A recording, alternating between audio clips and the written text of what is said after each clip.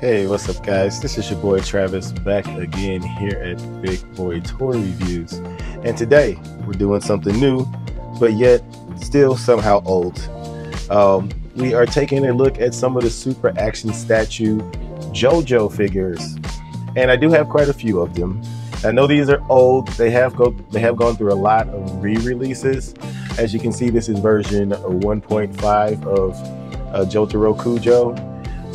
I'm not sure if this is a new version of Star Platinum. It doesn't state it anywhere on the box, um, as far as I can see. So this might still be the old version of him. As you can see, I've not opened these guys up yet. So I have not even touched these. So I don't know what to actually expect. But I'll take a look at the directions. Um, these came from Hobby Link Japan, so these are brand new. Uh, I do have some stuff on my copy here. I'm not quite sure what that is. Um, it's really kind of gross. I wiped it down as much as I could, um, but it looks like it's pretty stained on there. So that's unfortunate. Um, but it's just on this one. But yeah, here are the boxes. Um, I will be reviewing a good chunk of these uh, because I started watching it. I, I, I wasn't a big JoJo fan. I had seen it off and on, and it took me a while to get with the animation. It's kind of the same same way with One Piece. You know, I grew up from a uh, Fist of the North Star, Dragon Ball, uh, some Dragon Ball back in the day. So I was used to that kind of animation, a Toei animation. Uh, I, I, don't I don't remember who did Fist of the North Star, but um, the JoJo animation was just really goofy. The the way that they talked in it and then like the script was really goofy and just just so it was just too strange to me. I was more I was into more like the serious animes, and it's hard to say that Dragon Ball was serious, but if you if you've seen JoJo, you understand what I'm saying. Like the, their dialogue and stuff is just weird. It's just really weird, and so it was hard for me to to actually get into when I was younger. But since I've gotten older, I have started watching it. And I've started. I, I watched the first season, the second season, the third season. I think I'm on the fourth season right now. The fourth season, the fourth season anime is super weird. I think it's the fourth season. I haven't watched it in a while, but I think it's the fourth season because the third season, right, was when they got the the stands, right? Am I right? That was the first time you saw stands. I think, I believe that's correct. I do think that's correct. Uh, so uh, yeah, I'm on the fourth season. But anyway, that's besides the point. Let's go ahead and get these two guys out the box and see what they look like. Also, no tape. So like I said, I did get these brand new. These have no tape at the bottom. I just noticed that they were not taped. So I guess they these super action statues ship ship uh, with no tape on them. That's uh, that is absolutely new for me. Anyway, let's get them out the box. Alrighty, so we have them both out the packaging. And I did notice when I was taking these guys out that this has Star Platinum's third. And this, I don't think, I don't think this is the same version that goes with this uh, Jotaro. Um, because I, I recall him being like pink. I think he was like a pinkish, orangish color when he first appeared. Um, when he first appeared. So I'm not quite sure if his color changed in a different um, in a different series um, of of JoJo. Um, so I may this may be the wrong version of Star Platinum that goes with this figure, but because this is typically his stand, I'm just going to review them together. And the only reason I question that is because one of his accessories is definitely not a thing that the uh, Star Platinum from the uh, third season could do. So, yeah, uh, this might be uh, this might be a Star Platinum from a different season, and from I haven't gotten there yet. So, from what I know, this might not even be Jotaro stand. They might go to some crazy thing where you can steal each other's stand and stuff, and that's might might be why he's purple. I don't know. He's evil now. I don't know. But I'm gonna review them together because I don't have the correct color version. Um, and I'll do that for all the all the um, the JoJo's Bizarre Adventure, Adventure figures that came with that were uh, in seasons that had stands. So I, I won't do the review of that character until I also have that character stand. Um, the very first season they didn't have stands. The first season and the second season, I don't, I don't think they had stands. But uh, anyway, just wanted to give that little update. But uh, yeah, let's take a look at the figures. Let's go ahead and take a look at JoJo first because he's the least articulated. Um, well, I don't even know why that matters without articulation yet, so it doesn't really matter. But um, first time ever having one of these uh, super action statues. So uh, there's some things I already don't like about them, like this hinge joint for the neck. I absolutely hate it. It looks horrible. I hate that for the neck. And I'm and I'm I'm gonna I'm gonna go go go with that. These are older. Uh, this is very old tooling. Um, uh, because you got the big old peg uh, in his neck. Like you can see that clearly, and it's not like it's offering all that much, but some downward movement. You like you can't you can't do any head head tilt on this guy, and I I cannot seem to get his head off, even though he does come with an alternate head. I can't seem to pull it off. Um, so I might need to heat him up to get that head off, but I'm probably going to use this head anyway. Um, so that right there is already pissing me off. But other than that, he looks fantastic. The paint on his face looks phenomenal. I like the paint on his hat.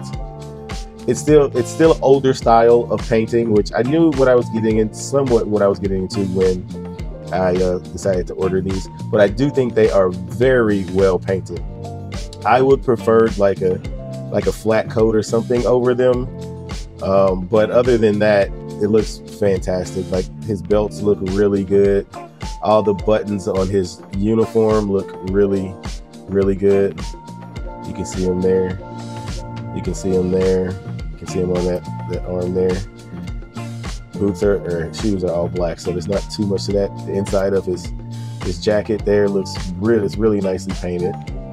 Then we got the little strap here on his chest. I do like the shading in his shirt looks great. I like the subtle uh, skin tone on the parts that are skin. I just hate, I just hate that you can see the pin in his neck. It's just so bad, so so bad.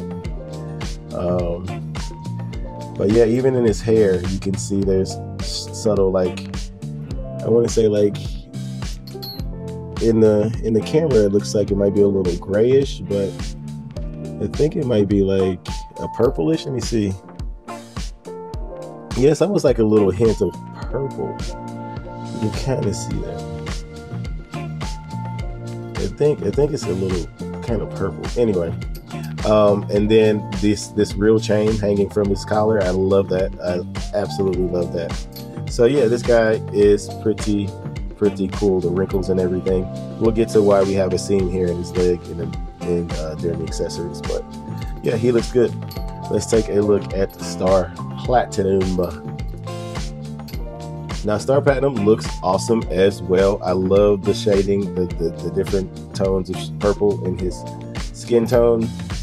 It looks so good. All the, I mean, the paint on here is just fantastic. It is absolutely fantastic. He also has that stupid hinge joint or hinge in his hinge in his neck. You can see the pin right there. Hate it. His is a little more hidden, so it's not too bad. Plus, he's a stand, so you can you can kind of you can kind of just you know just forget about that stuff because he's just kind of not a human character, so he can have that kind of stuff in him. Oh, he's not a human, so he can have like pins and stuff, you know, because stands come in all different shapes and sizes and different things. But yeah, this paint on him is phenomenal. I absolutely love it. Now, his toe did fall off of me. I'll just need to super glue that in. That's not a big deal to me. I just had to put a little little dabby dab of super glue right there, and it'll be fine. Uh, as long as I don't uh, freeze the joint, I don't put too much on there and, don't, and, and not freeze the joint. I'll be fine. The gold on his belt, I love the shading, and it's like long cloth. I guess you could say that is everywhere. This guy is painted so nicely. I think it is fantastic and it's purposeful paint. Like there's you don't see any bleeding or over paint or anything. It's so good. Look at that lining on his on his shin here. Look at that. That is so nicely done. I mean, no wonder they call them statues. They're painted like almost painted like a statue. Look at the gold on the shoulders. He's been he's fantastically done. I love this. I can't wait to start start making a display of these guys once I get enough of this scarf thingy here. Yeah, I like these a lot. And they're not expensive. Like I like I'm getting these on like Hobby Link Japan, and they are not expensive. Um, so they're they're no more expensive than like a typical import action figure. Um, so I think they're fantastic. I think this guy is fantastic. Let's go ahead and get to their accessory, accessories because they have so many. All right, you got two pointy hands here, and those are also nicely painted. And I love this the, the transitional skin tone in these. So you got two pointy hands, two like pinching hands. He doesn't have anything to pinch, um, but I don't remember what what this is for. This might be like taunting or something, or telling uh, somebody that they got a little, uh, you know, a little bitty, uh, little, little, uh, little hot dog down there. Um, he has some spread open hands. Really like this. Nicely spread open hands. Then we have Superman hands, or karate chop hands. Superman flying hands and then we got two more hands that have no fingers in them, and that's because these are meant to be connected to these accessories. And actually, if I can open this, I'll go ahead and open this. So these are extra pants parts. So you can take off the front uh, part of his thighs, and you can uh, you can simulate his hands in his pocket. You can you can kind of see it right here on the uh, package on the back there. So that's for that. And he has one head. So he has this head with kind of a smirk on it, very nicely painted, very very nicely painted, just as uh, well painted as the head that came with him on or in the package. Like even this little sculpt, they even got the little. Is that like a fist? Right there or a hand. At least you can you can you can see it. But you can see what kind of peg is in here. So i don't what kind of peg probably goes is that a straight peg or is that a ball peg? I don't know. It feels like a straight peg but i cannot get his head off. Anyway oh and then he comes with one more thing. He comes with this this um, i assume this is a message bubble. Um, it has these pegs in it but it doesn't come with anything. I mean, he does come with a stand, so here I will show that. So, so he has this message bubble. I don't know what it says, but then he has the stand with the JoJo uh, JoJo on, on the uh, bottom of it. But then he comes with an extra part, so maybe it, that's that that air that uh, text bubble can can be pegged into this. So, but yeah, there's the stand, and that is it for his accessories. And then for star platinum, two like clenching hands, I guess you can say. Very nicely painted as well. Very, very nicely painted. Then we have a pointing hand for him as well. So that one's painted fine, it's good enough. I don't I mean you got a little overpaint there, but and then this is the accessory that I was talking about that he did. I don't recall him doing this in the third season, which is why I think this is a different version, and it clearly says Star Platinum Third. I don't remember him having um, Dhalsim like abilities or Mister Fantastic like abilities. Usually he's throwing them punches, you know. So, and I didn't, I didn't get a punching effect, so it's clearly a different version of him. And then we get this fantastic yelling face. Or would I just laid it down in? Fantastic yelling face. I think this is absolutely awesome. Look at the eyes. So good. So, so good. And you can tell that they painted the mouth separately, so that's why it's so nicely painted. Yeah, I like that. So that is it for his accessories. He also comes with a stand. It looks just like JoJo's JoJo's stand, so we don't really need to take a look at that. So let's get on to articulation.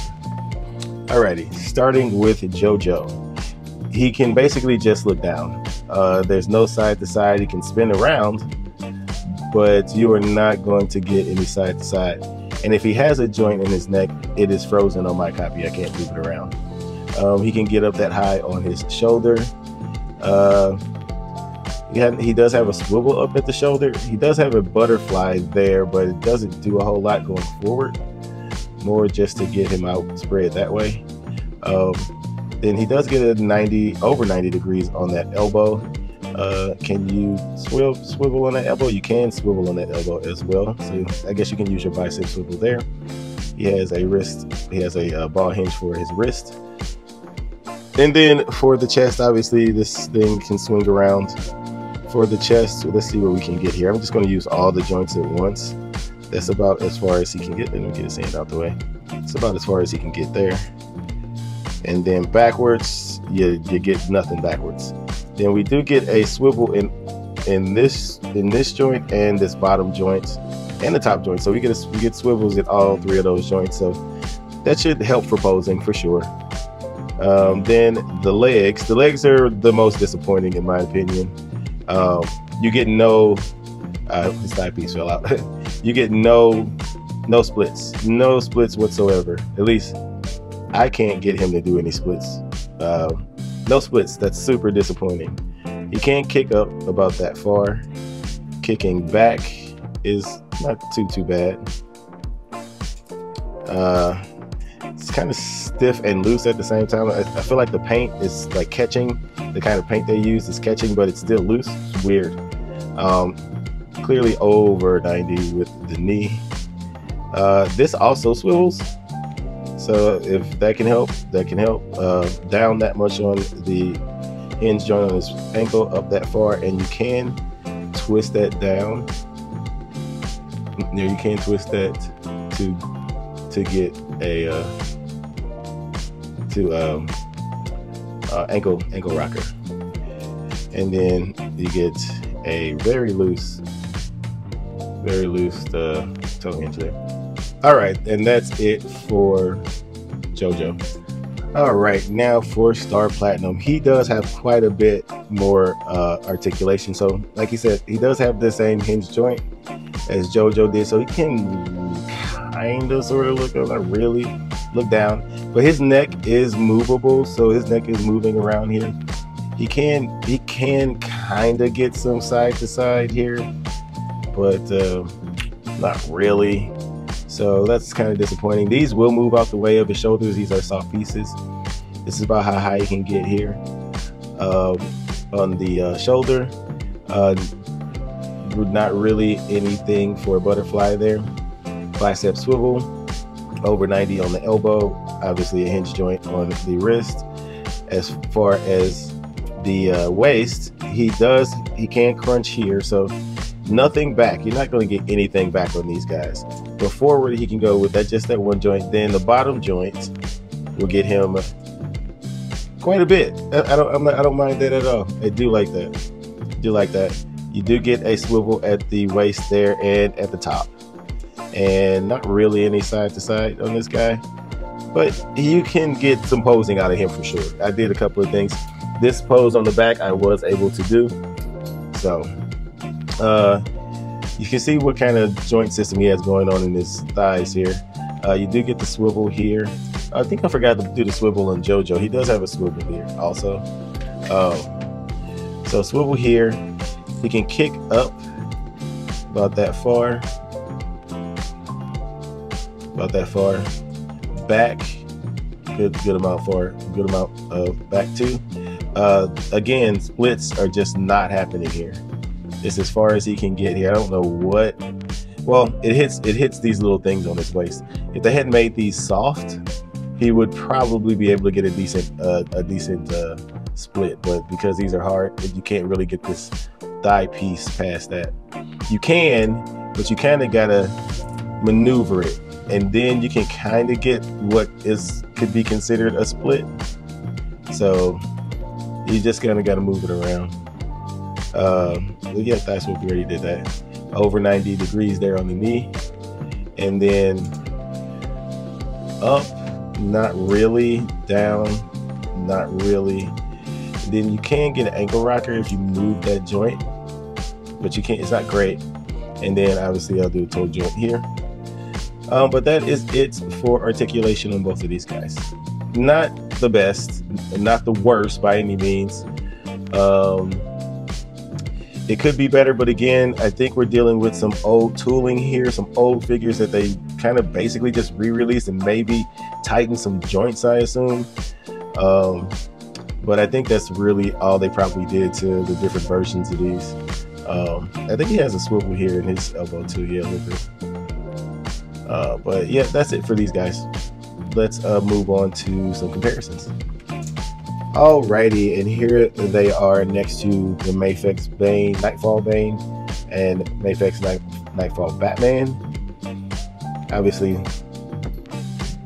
huge. I, I, mean, I mean, the Bane is huge. I think the Batman is, yeah, Batman is bigger than both, of, them or taller than both of them as well. I think. Let's see. Uh, they're about the same height with Batman's uh, pointy 20 ears. So, but uh, yeah, that's what they look like with them. And here they are next to some Buzzmod figures from Demon Slayer. We got Tanjiro and some. still, I ain't got it. I Still ain't got it. Still ain't got it. Uh, Tomioka, maybe. Is that his name? I might be wrong. Um, I'm probably wrong. But yeah, here, here they are next to some bust, bust by figures. Um, yeah, they're probably not quite in the same realm or scaling there. All right, and lastly, here they are next to some chicks. Uh, we got She-Hulk, the Marvel Legends She-Hulk, and the SH Figuarts Rainbow Mika. And obviously, She-Hulk is gigantic. They would not be anywhere in the same lore or anything, but I'm just doing a figure comparison of what I got sitting next to me. Unfortunately, I haven't opened any more uh, uh, action, super action uh, statues. So I don't have any other ones to compare them to. So, but anyway, that's it for the comparisons. All right, so for my final thoughts, I love these guys. I, like I said earlier in the in the review, I can't wait to uh, to get these uh, in a display with a bunch of other JoJo's figures. I'm super excited about it. So, um, some these these guys seem to go become available in and out. They're kind of in and out of the sites. So, so you just gotta kind of check on them. I got these from uh, Hobby Link Japan, so they might still have them available. But anyway, that's it for the review. Comment, like, and subscribe. And until next time, peace.